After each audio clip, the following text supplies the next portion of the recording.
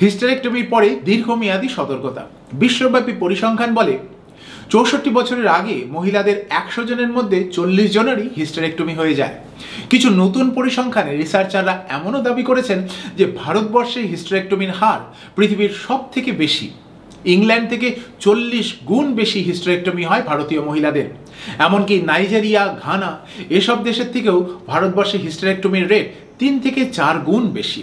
কেন হিস্টেরেক্টমির এত বারবারন্ত? সে বিশ্লেষণ অন্য এক ভিডিও সমীক্ষার জন্য থাক।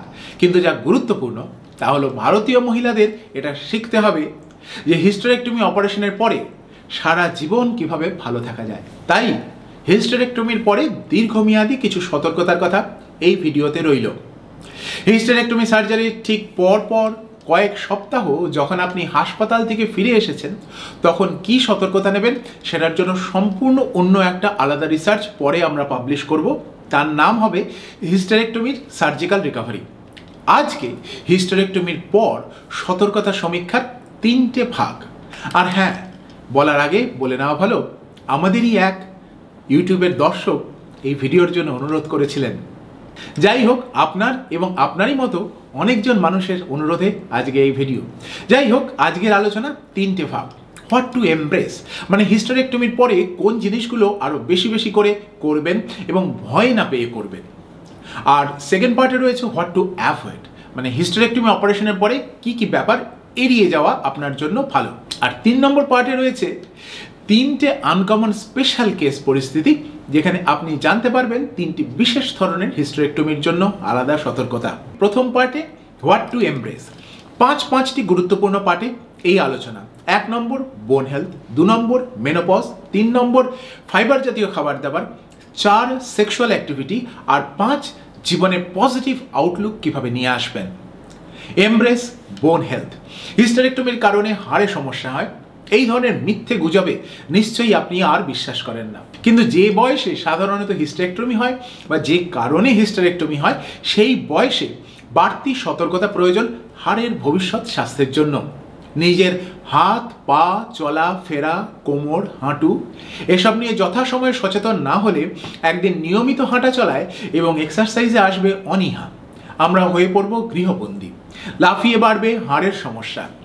ভারতবর্ষে তিরিশ শতাংশ মহিলা অস্টিওপোরোসিসে ভোগেন মানে প্রতি তিনজনের মধ্যে একজন। পঁচিশ, তিরিশ বছর বয়স থেকে এই সমস্যার শুরু। কিন্তু সে বয়সের কাউকে এসব কথা বললে সে বিশ্বাসই করবে না। এদিকে হিস্টেরেক্টমির পরে আপনার বন্ধু বান্ধব বলতে শুরু করেছেন, হাড়ের সমস্যার কথা। তখন আপনি বিশ্বাস করতে শুরু করেছেন, আর হয়তো ভাবছেন, অপারেশনের জন্যই হাড়ের সমস্যা হয়েছে। হয়তো মিথ্যে গুজবে আতঙ্কিত না হয়ে যথাসময়ে সঠিক পদক্ষেপ নেওয়া আসল কাজ। পা মালিশ করে কোমরে বেল্ট বেঁধে নি ক্যাপ পরে অথবা হিমালয় থেকে আনা দুষ্প্রাপ্য গাছগাছালি খেয়ে হাড়ের উপকার করা সম্ভব নয়। হাঁটু বাঁচাতে গেলে দরকার হাঁটু খারাপ হয়ে যাওয়ার আগে থেকে নিয়মিত হাঁটা চলা। ট্যাবলেটের বদলে সূর্যালোক থেকে ভিটামিন ডি সংগ্রহ করা। খাবারে যথেষ্ট ক্যালসিয়াম রাখা। আর সাথে বোঝা যে শুধু ক্যালসিয়াম খেয়ে হাড় ভালো করা সম্ভব নয়। খেয়াল রাখা দরকার যে মন দিয়ে হাঁটা আর ব্যায়াম না করলে খেয়ে নেওয়া সিংহভাগ ক্যালসিয়াম ট্যাবলেট আর ভিটামিন ডি পরদিন টয়লেটে বিসর্জন হয়ে যায়। আমাদের এই নিয়ে লেখা এবং ভিডিওর লিঙ্ক নিচের ডেসক্রিপশন বক্সে রইল। আপনার হাড়ের বর্তমান অবস্থা কেমন সেটা জানতে চাইলে বোন ডেন্সিটি টেস্ট কীভাবে করবেন সে নিয়েও লিঙ্ক রইল নিচের ডেসক্রিপশনে।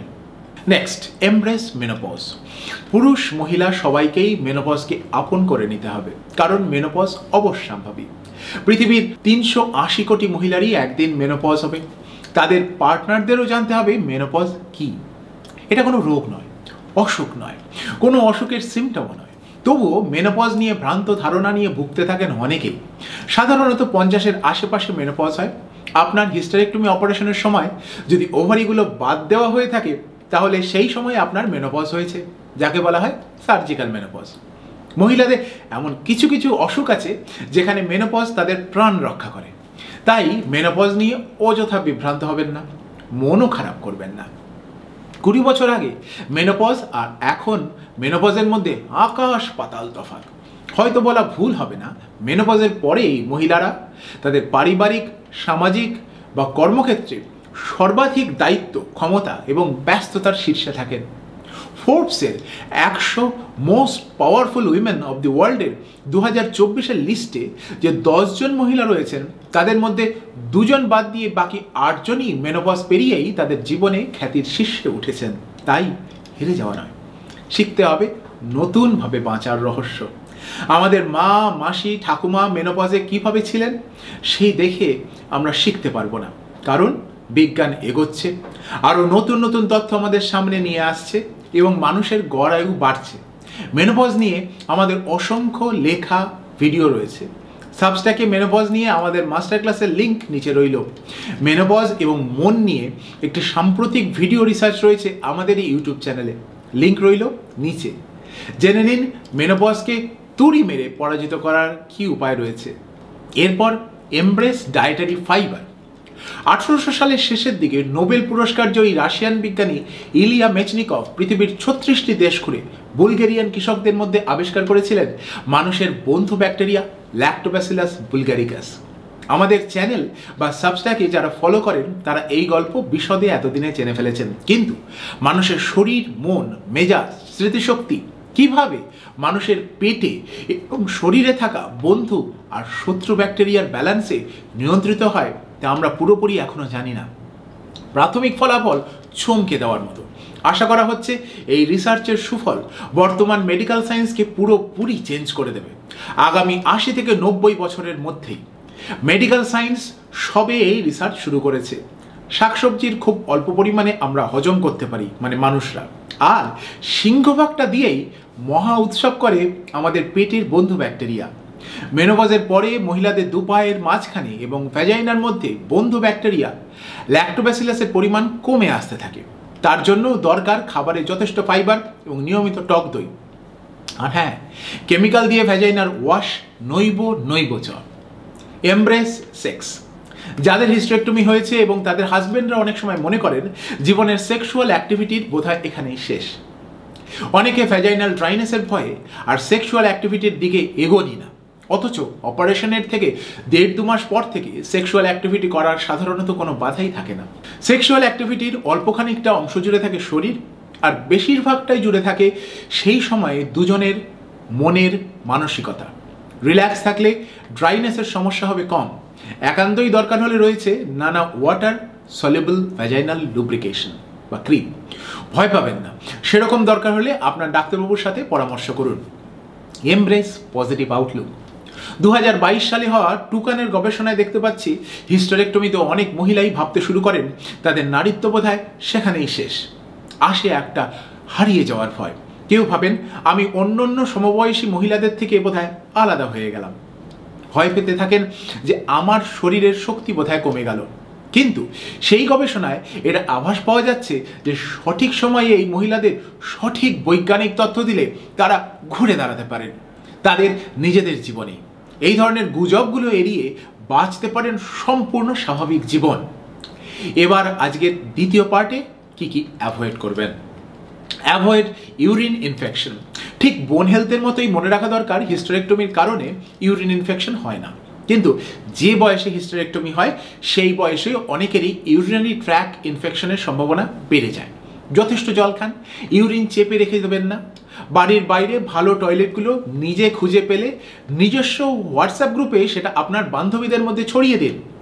নিয়মিত চিনি ছাড়া টক দই খান।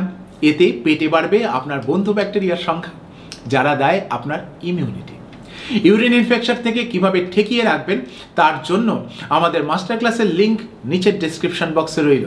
অ্যাভয়েড হেভি ওয়েট লিফটিং সাধারণত হিস্ট্রেক্টমি অপারেশন হওয়ার তিন মাস পর থেকে আপনি সাধারণ যেরকম ভারী জিনিসপত্র তুলতেন, সেরকমই তুলতে পারবেন বলে সাধারণত ডাক্তারবাবুরা বলেন। কিন্তু তবুও খুব বেশি ভারী জিনিস তুলতে সতর্কতা প্রয়োজন।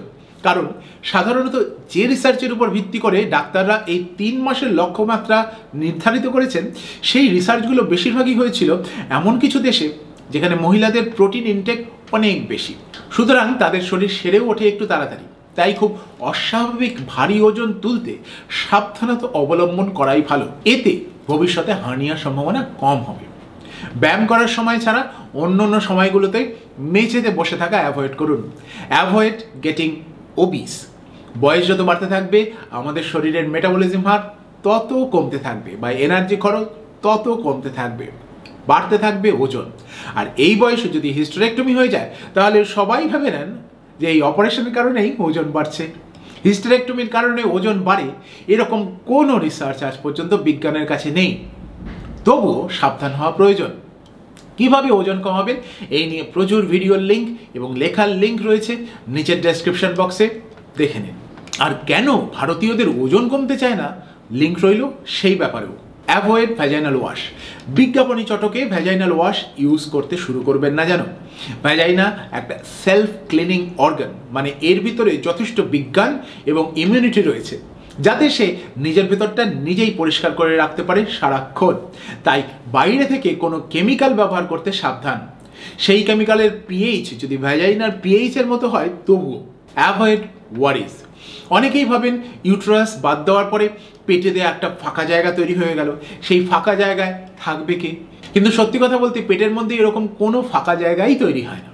যে জায়গাটা ইউট্রাস ছিল, সেই জায়গায় চলে আসে পটির রাস্তা বা কোলন।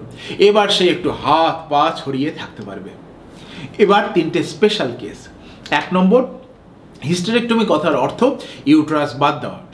চলতি সমাজে অনেকে মনে করেন হিস্টেরেক্টমির সময় বোধহয় নিয়ম মেনে ওভারি দুটোও বাদ দিয়ে দেওয়া হয়েছে। কিন্তু ওভারি বাদ দেওয়ার অপারেশনের নাম আলাদা উফরেক্টমি তাই আপনার শুধু হিস্টেরেক্টমি হয়েছে না ওভারি দুটো বা একটা বাদ হয়েছে, সে ব্যাপারে জেনে নিন আপনার সার্জারির নোট থেকে।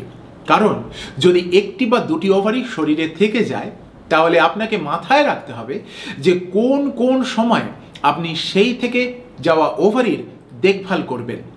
থেকে যাওয়া ওভারি থেকে যদি কোনো সিস্ট বা অন্য কোনো সমস্যা তৈরি হয়, তাহলে তার সিমটম কিন্তু কোনো গাইনোকোলজিক্যাল সিমটমের মতো হবে না। তাই আপনার ডাক্তারবাবুর কাছ থেকে খুঁটিয়ে জেনে নিন যে কি সতর্কতা প্রয়োজন। দ্বিতীয়, দু নম্বর কেস জেনে নিন, আপনার হিস্টারেক্টমিতে সার্ভিক্স বাদ দেওয়া হয়েছে কিনা?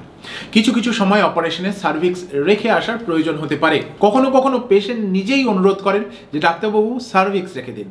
কারা কেন এ ধরনের প্রশ্ন করেন সেই নিয়ে বিতর্ক চলতে পারে, কিন্তু কেউ কেউ বলতে থাকেন। সার্ভিক্স শরীরে রেখে যে হিস্টেরেক্টমি করা হয়, তার নাম সাবটোটাল হিস্টেরেক্টমি। যদি সার্ভিক্স রেখে আসা হয়, তাহলে আপনার নিয়মিত ব্যবধানে প্যাপসমিয়ার করা দরকার। অন্তত পঁয়ষট্টি বছর বয়স পর্যন্ত। তাই জেনে রাখুন, আগে থেকে তৃতীয় বা থার্ড কেস আপনার যদি নর্মাল হিস্টেরেক্টমি না হয়ে র্যাডিক্যাল বা এক্সটেন্ডেড হিস্টেরেক্টমি হয়ে থাকে, তাহলে তা জেনে নিন। কিছু জটিল সমস্যায় বা ক্যান্সারের ক্ষেত্রে এই ধরনের হিস্টেরেক্টমিগুলো করার প্রয়োজন হয়। এই সার্জারি সাধারণ হিস্টেরেক্টমি সার্জারির তুলনায় অনেকটাই আলাদা। তাই সেসব ক্ষেত্রে ফলো আপ এবং সতর্কতাও আলাদা। সেটা আপনি আপনার নিজের ডাক্তারবাবুকে জিজ্ঞাসা করে নিন। যাই হোক আজ এই পর্যন্তই। ভালো থাকবেন। আশা করি আপনাদের প্রশ্নের উত্তর পেয়েছেন। শিগগিরই দেখা হবে।